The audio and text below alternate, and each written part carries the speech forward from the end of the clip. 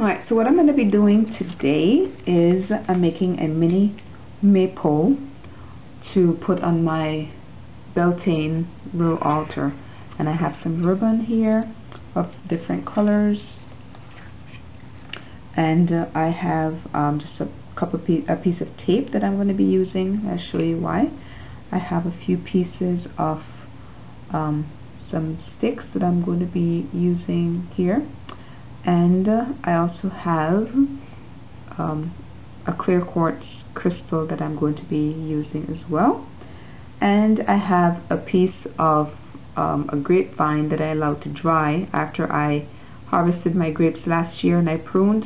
This is a piece of the grapevine that I saved. So I'm going to be using this to make uh, a mini maypole that will go on my Beltane altar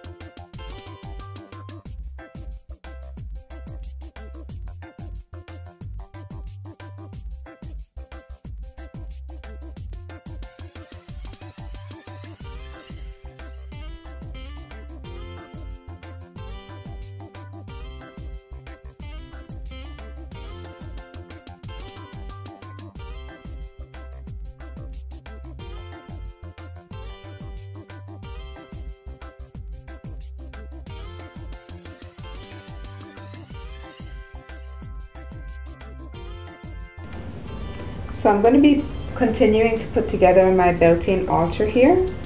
And um, I've got a few things that I just made this beautiful um, mini maypole. And there's a video that shows you how I did that. I collected some flowers from outside. These are fresh flowers, fresh wildflowers. And I also have some gemstones that I'm going to be using as well, as well as some dried herbs and some candles that I'm going to be pulling in. So I'm going to show you what I did there.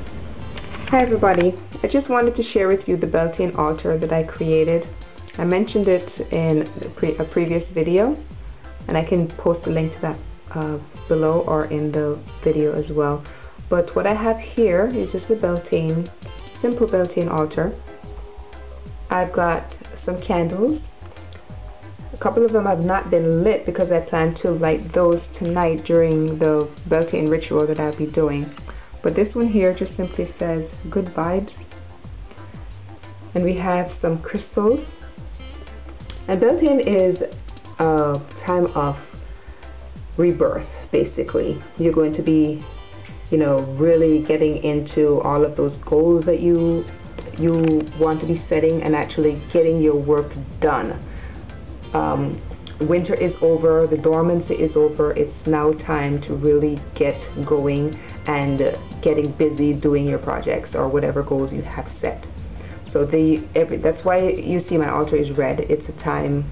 Um, it indicates passion, uh, creativity, those kinds of things. So that's why I've, I've got a lot of red used in my altar. To do the tablecloth, all I did was I took a runner and I simply cut it in two and I placed both halves together and here the crystals that I've got are red jasper I also have carnelian. I've got two pieces of citrine. Um, this is peacock ore. And then I have a nice big chunk of honey calcite. And just for being cute, I put a little dragonfly charm right there. I also have some um, potpourri, which is made from is apple and cinnamon scented, and I have got a, a red candle in the middle. I also have a couple more red candles towards the back that I have not yet lit, but those will be lit tonight. I have some wildflowers that I picked from my backyard that are sitting in some water. And I also have another, um, these ones are not real, these are artificial flowers, but they're here in honor and memory of uh, those who may have died or currently suffering from lupus because May 1st is the beginning of Lupus Awareness Month, so I wanted to um, put that in there as well. Uh, this is a mini maypole that I made, and I, there's a video that shows you how I made that as well. And at the tip of it, there is uh, clear quartz, which will also amplify the energies of the other crystals that are there. Also, I have some dried herbs of rosemary, and we know that rosemary is the herb of memory. And Shakespeare actually referenced this quite a bit in many of his of his plays. In the background is a painting that I created recently, and I thought that it would be perfect as the backdrop for my Beltane altar because to me she is an earth goddess There's a lot of red in there and I thought it would be perfect for, for this Beltane altar that I created. I hope you like it. Um, please go ahead and give me some feedback in the comments below. If you celebrate Beltane, um, what, what do you normally do as far as a, a ritual is concerned? Do you do any rituals? Do you light a bonfire? Tonight I'm going to be lighting a bonfire in my backyard.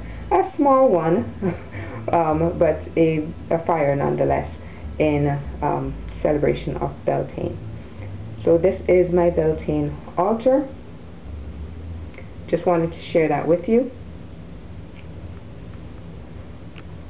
Thank you for watching this video. If you're not a supporter as yet, I would really love it if you click that red subscribe button and join the family as well as the notification bell and that way you will not miss any more of the great content that I will be posting. Please like, share, all of the above. And I will see you again soon.